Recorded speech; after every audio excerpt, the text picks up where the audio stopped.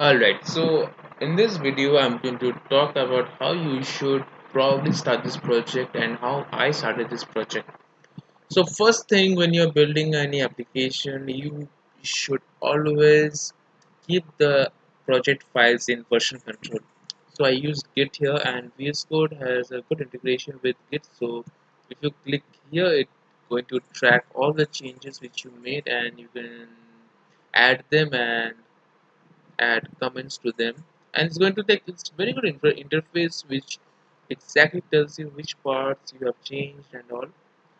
I'm not going to commit them at this moment but I'm going to explain them how I uh, proceeded. So first thing which uh, was I made a scaffold application with express generator got all those files and then I um, initialized the project with git init and then the next thing was create a git ignore file.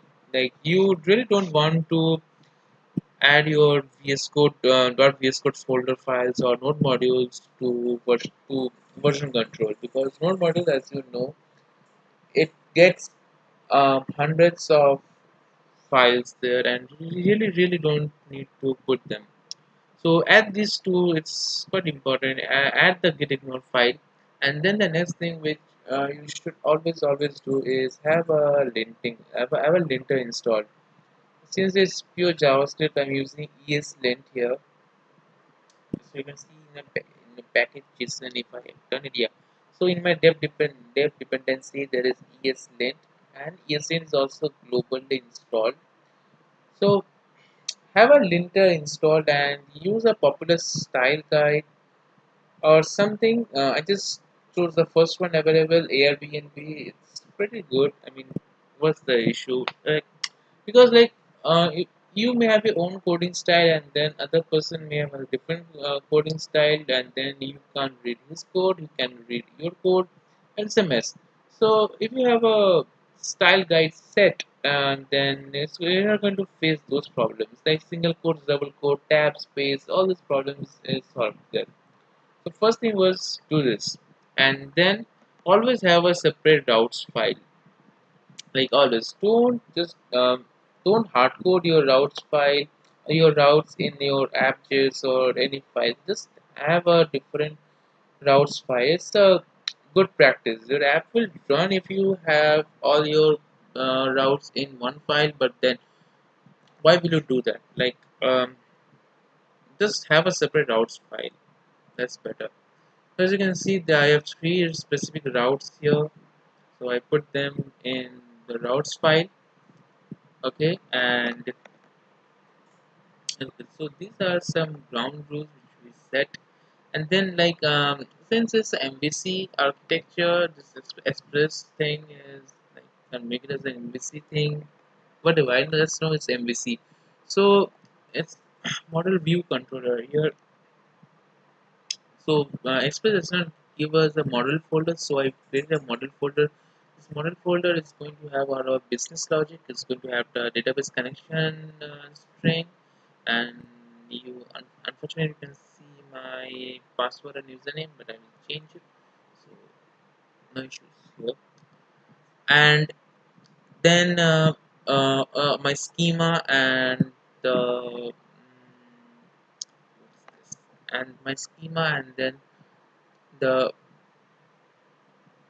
uh, what am what am I trying to find? Um, the word uh, the what I'm trying to find is the uh, database function the which should actually talk to the database because the MVC uh, the MVC architecture says your views or controller should not ever talk to the database directly. Only the model file should talk to the database. So these are views here, the views folder, but I'm not really using them. It's what came from the generator and our logic basically is here in the routes folder.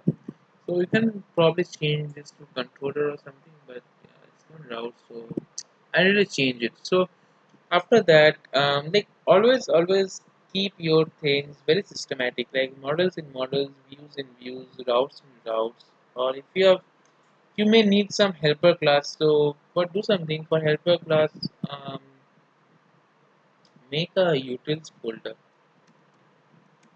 Make a utils folder and then in the utils folder create a file called helper.js or something like like if you go through projects and or like uh, some open source projects we always see the structure like this. And it's a pretty good structure actually.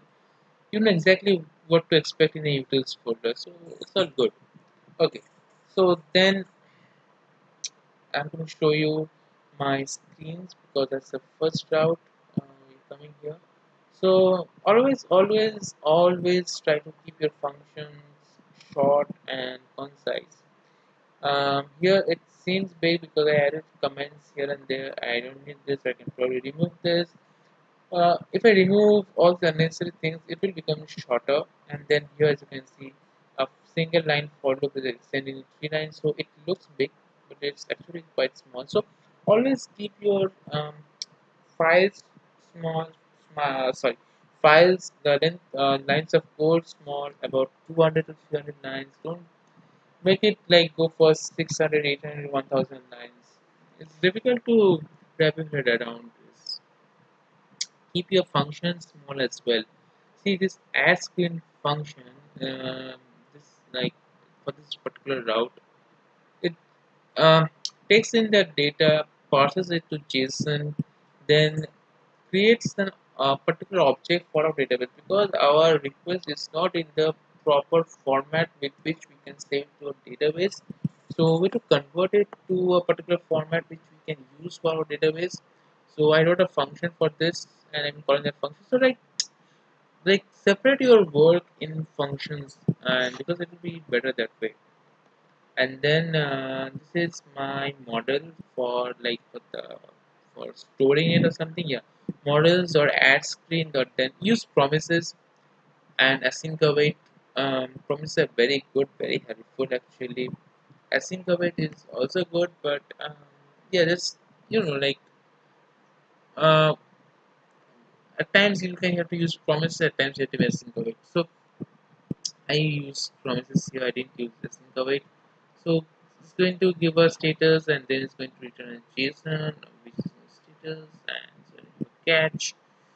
And uh, see I wrote here console.log but uh, that's much time I have. But you should probably use a logger. So we have a logger installed. If you open the app.js file a logger called Morgan I guess. Uh, Morgan, Morgan, or Winston called. Winston yeah Morgan. So we have uh, a logger called Morgan and we can use this logger to actually log our data to our to a particular text file instead of using console log that's a better approach. But since I didn't have much time to set all those up so I use logger here. So uh, after that um, as you can see uh, for this particular these two routes I'm calling these two files the reserve and seed file. So seeds is again a seeds is a big file actually. It's about 150 lines but it's not that difficult anyways. So this some okay some of these functions are quite um, it, it it got out of hand eventually because um, you know the time was short and then but whatever like try to keep a function small and break the task into smaller tasks. See like this console log if it goes away then we can save a lot of lines so it's not that bad also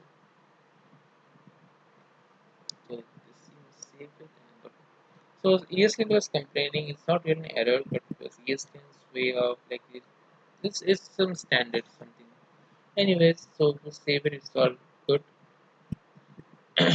So this function got a bit longer and I should probably okay use destructuring whenever it's possible. Um, it's it's an ES6 way of uh, doing use the language features. They're there to help us and yeah I don't think um, there's more I can talk about here.